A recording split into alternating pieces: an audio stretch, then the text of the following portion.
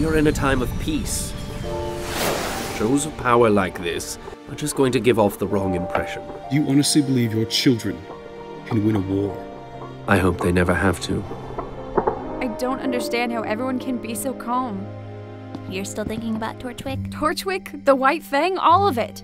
Something big is happening and no one is doing anything about it. We're not ready. And we may never be ready. Our enemies aren't just gonna sit around and wait for graduation day. They're out there, somewhere, planning their next move, and none of us know what it is, but it's coming. Have a little faith.